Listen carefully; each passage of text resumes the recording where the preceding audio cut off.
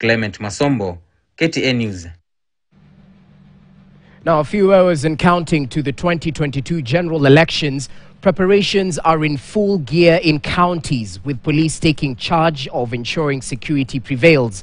In Mombasa County, the electoral officials say all preparations are over and that the polling stations are ready for Kenyans to cast their votes. Some Kenyans have also taken caution, as Sada Hassan reports. On a normal day in Mombasa County, most car bazaars are full of vehicles ready to be sold to potential customers.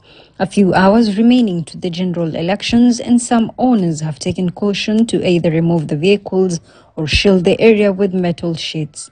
Mombasa County Returning Officer Swalha Ibrahim says that preparations are steady for the election process come Tuesday. We've already dispatched all the materials uh, to the uh, constituency tallying centers. The ROs, that is the constituency ROs, will be dispatching uh, the materials uh, from the constituency tallying centers to the polling stations tomorrow. In this year's election, Mombasa County has 1,041 polling centers, inclusive of four prisons, all of which have a maximum number of 700 voters per station. Security situation has been strengthened in the county, especially in areas deemed as hotspots. We have two security officers per polling station deployed uh, by the security uh, uh, team. We also have 20 uh, security officers uh, in every tiling center. We have also deployed the GSU uh, in various parts of Mombasa County. Speaking to Kenyans on the street, many are desirous of peaceful elections. Mimi ni wa amani, tena amani kubwa sana, kwa sababu asubuhi nitarauka mapema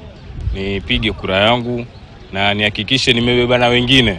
Tunataka after that turudi tuwe na amani, wale watu wetu tukae wote, hata kama mtu ameshindwa akubali. Tutafanya kazi yetu kulingana na uwezo wetu, tuende turishie mtu mwenye tunaona anatufaa na mwenye, mwenye ana maono mazuri na sisi, then ashugane na kura yake. Hatutaki mtu anasema oh, mimi nilifanyiwa nilifanyiwa. Shugana na kura yako.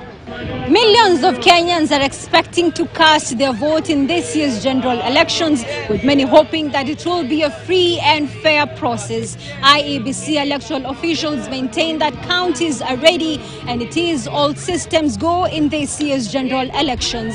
Sada Hassan, KTN News in Mombasa County. Now, moving on, Nzoia Sugar Factory has today begun operations after un undergoing